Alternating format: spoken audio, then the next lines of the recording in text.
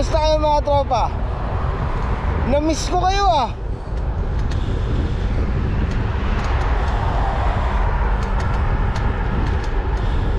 Sa mga hindi nakakaalam katropa, inabot tayo ng COVID.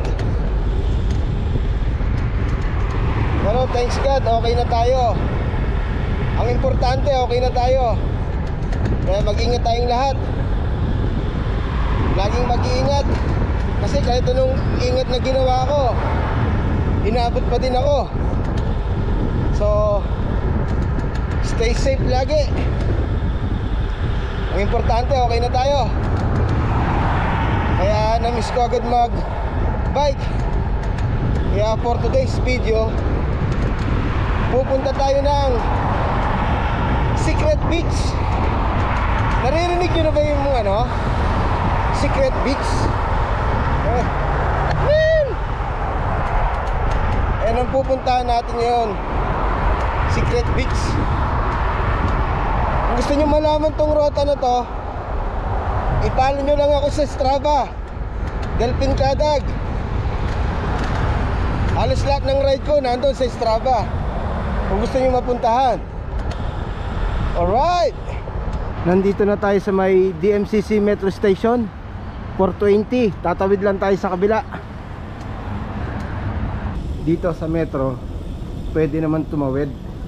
Basta akay lang ang bike. Gaya nito. Yan. Akay ang bike pwede.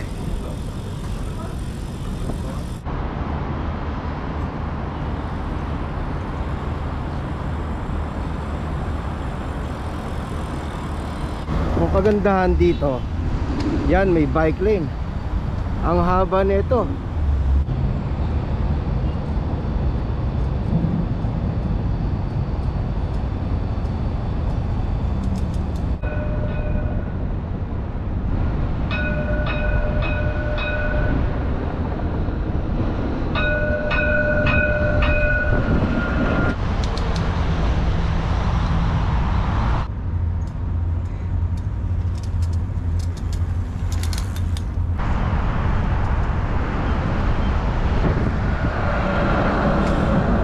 Yan, malapit na tayo mga tropa. Naghahanap na lang ako ng tatawiran. Kasi banda dun yun eh oh. So yun, pag galing sa amin Itong Dubai College na to Yung signal na yan Tatawid na tayo sa signal na yan. Diyan na yung bandang kaliwa Diyan na yung Secret Beach. So yan mga katropa Pag galing ka ng Satwa Dera After ng Birds Al Arab Dediretso mo lang itong road na to Yan yung Birds Al Arab oh. Dediretso mo lang tong road na to Yan. May kita mo yan mga karatula na yan no? Yan yung kung saan lumiliko yung mga sakyan. Yan, dyan na yung Secret Beach. Off-road lang siya mga katropa. Yan no? Maganda rito MTB Pero okay naman yung dala natin. Ano naman to eh ah ah, Folding gravel bike. Hindi totoo yan. goods lang to. Kaya kung wala kang sakyan mula labas hanggang doon sa beach malayo-layo rin ha malayo yan kaya mas maganda mainam may sasakyan kayo yan ito yung sinasabing ah, secret beach malawak din siya ha? Kumbaga galing dito layo pa rin ang liliguan mo kaya malayo pa rin yung lakadin ha. Mababa siya, gandun siya oh. Kita pa nga yung ano, oh. Burj Al Arab. Tsaka may mga lifeguard. Dun pa meron.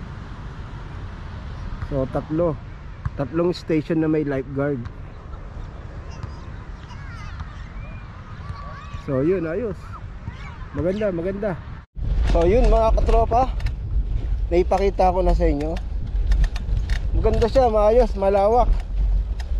Kaya lang ang problema, mula entrance hanggang beach, malayong lakarin. Pag wala kang sasakyan, medyo malayo. Pangalawa, wala ako nakitang CR. So, yun ang mga napuna ko. Pero yung beach, maayos naman. Malawak, kaya may social distancing. Sa parking walang problema, mananawakan, laki. Ayun nga lang.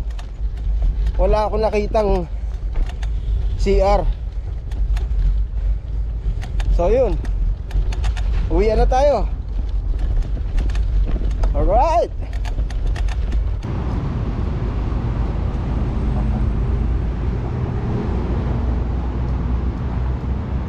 So dito tayo dumaan ngayon sa loob Sa loob ng Internet City Maiba naman yung Tanawin natin.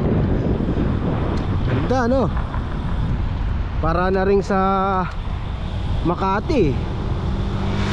Yun yung bike lane eh. Tayo naman natin dito sa loob. Ganda. Diba? Nice view. Oh, di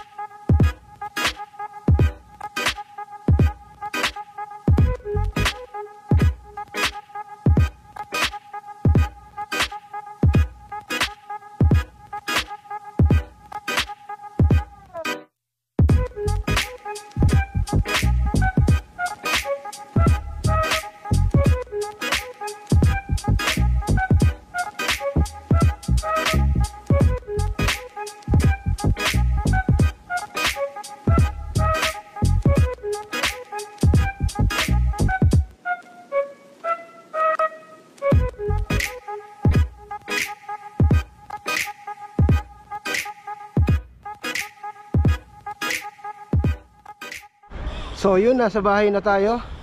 Thank you, thank you for watching. Please like, share, and subscribe. Hit mo rin yung notification bell para ma-notify ka Sa tuwing may upload ako